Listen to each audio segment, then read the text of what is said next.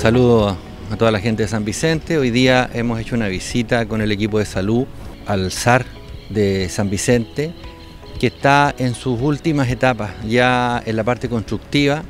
La empresa está eh, por entregarle en forma definitiva el servicio de salud, eh, lo cual también eh, conlleva a que se instalen los equipos necesarios para su funcionamiento y con ello la autorización sanitaria al servicio de salud.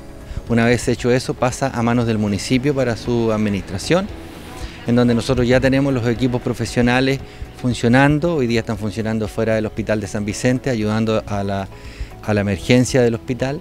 Esto ha sido una espera bastante larga, es muy importante para nosotros ver que ya es una realidad, algo que partió como un sueño, ¿no es cierto? Eh, durante el gobierno de la presidenta Bachelet, el municipio hizo su parte de adquirir un terreno, un terreno ubicado en un lugar céntrico, cerca del CEFAN, con toda la exigencia, y eh, vino el compromiso de parte del gobierno eh, anterior y del gobierno actual de continuar esta obra.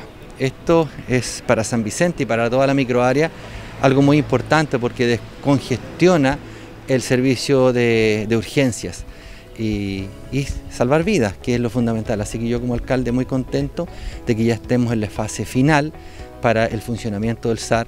No podemos dar una fecha precisa, pero sí a lo menos un mes, un mes y medio más, esto ya debería estar en funcionamiento. Como el SAR eh, se implementó para descongestionar el servicio de urgencia, Vamos a trabajar muy enlazados en, red, el Hospital de San Vicente, el CESFAM y nosotros como SAR para trasladar los pacientes que requieran una mayor atención de urgencia o viceversa.